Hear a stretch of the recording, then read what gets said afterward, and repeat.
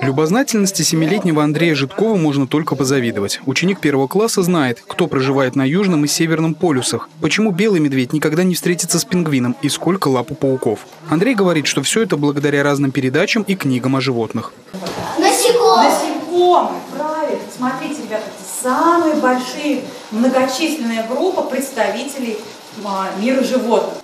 Зоологический музей социально-педагогического университета один из старейших в Самаре. Он насчитывает более 18 тысяч экспонатов. Здесь и полноразмерные чучелы животных, насекомые, рептилии и рыбы. Есть и очень редкие экспонаты, например, этих ехидну и броненосца. Купцы Шахабаловы, жившие в 19-м, начале 20 века в Самаре, привезли из путешествия. Сотрудники музея часто проводят экскурсии для школьников. Гостями одной из них стали дети из семей мобилизованных, ученики начальных классов самарских школ, с которыми ВУЗ активно сотрудничает. Как отметили сотрудники университета, такая легкая легкая интересная прогулка по экспозициям – отличная возможность отвлечь ребят и помочь им провести досуг с пользой.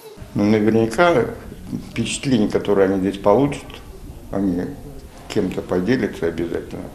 Во-первых, со своими близкими, потому что это эмоциональное воздействие, которое они получают здесь. Естественно, это запомнится на долгие годы. Надеюсь, что они напишут папам хорошие письма.